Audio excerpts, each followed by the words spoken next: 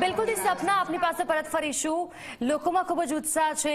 રાજકોટમાં કેવો માહોલ છે તે પણ જાણી લઈએ. સંવાદદાતા ગૌરવ દવે બીએપીએસ સ્વામિનારાયણ મંદિરથી જોડાયા છે.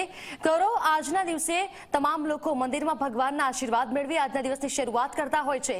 કેવો માહોલ છે આજે દિવાળીના દિવસે વિદ્યાના દેવી એવા સરસ્વતી એમનું પણ આહવાન સ્થાપન પૂજન કરીશું અ, ધરા વિક્રમ સંવત બે હજાર ઇઠોતેરનો આજે છેલ્લો દિવસ એટલે કે દિવાળીનો પાવન પર્વ છે અને આજના દિવસે ચોપડા પૂજન છે તેમનું મહત્વ છે તે રહેલું છે. ખાસ કરીને આપને દ્રશ્યો છે તે બતાવવાનો પ્રયાસ કરીશું. રાજકોટના કાલાવર રોડ પર આવેલું જે બીએપીએસ સ્વામિનારાયણ મંદિર છે કે જ્યાં મોટી સંખ્યાની અંદર વેપારીઓ અને હરિભક્તો છે તેમના દ્વારા આજે ચોપડા પૂજન છે તે કરવામાં આવી રહ્યું છે. અંદાજિત બેઠી અઢી હજાર લોકો છે કે જેઓ આજે ચોપડા પૂજન છે તે કરી રહ્યા છે.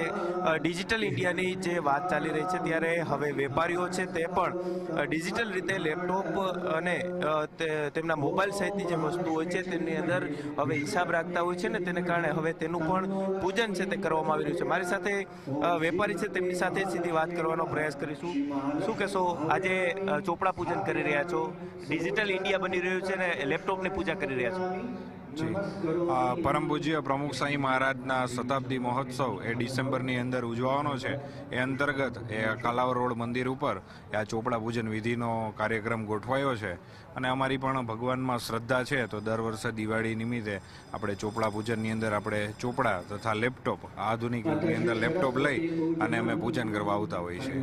તો આગામી વર્ષ કેવું જશે કઈ રીતના પૂજન કરીને ભગવાન પાસે પ્રાર્થના કરી ના બસ ભગવાનને પ્રાર્થના કરીએ કે કોરોના પછીનું જે ગયું વર્ષ પણ સારું ગયું છે અને આવતું વર્ષ અને ભવિષ્યમાં પણ વર્ષો સારા જ જશે. ચોક્કસ જ વેપારીઓ છે તે અત્યારે ચોપડા પૂજન છે તે કરી રહ્યા છે. કેટલાક અન્ય હરિભક્તો છે, વેપારીઓ છે તેમની સાથે પણ સીધો વાત કરવાનો પ્રયાસ કરીશું. અહીં ચોપડાનું પૂજન છે તે કરવામાં આવી રહ્યું છે. મોટી સંખ્યામાં વેપારીઓ છે તે અહીં ચોપડા પૂજન કરતા જોવા મળી રહ્યા છે. શું કહેશો સાહેબ? ચોપડાનું પૂજન કરી રહ્યા છો. બે હજાર ઇઠોતેરનું વર્ષ, આજે છેલ્લો દિવસ છે. નવા વર્ષથી નવા ચોપડા શરૂઆત કરશો. કઈ રીતના પૂજન કરી રહ્યા છો?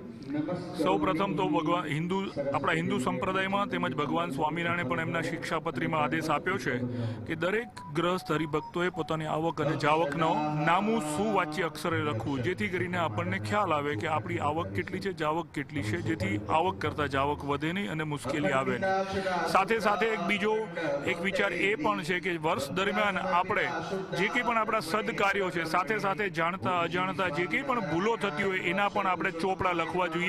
જેથી કરીને નવા વર્ષની અંદર, પૂરું થતા વર્ષની અંદર આપણે જે કાંઈ ભૂલો કરી છે, એ ભૂલો નવા વર્ષમાં ના કરીએ, ચોપડામાં જોઈને, આપણા અંતરના ચોપડામાં જોઈને. અને પછી સાથે સાથે જે અધ્યાત્મ કાર્ય, સેવા કાર્ય, રાષ્ટ્ર કાર્ય જે કંઈ પણ કરવાનું હોય, એનું પણ આપણે આ રીતે એક આપણી માનસિક બિલકુલથી ગૌરવ અને સપના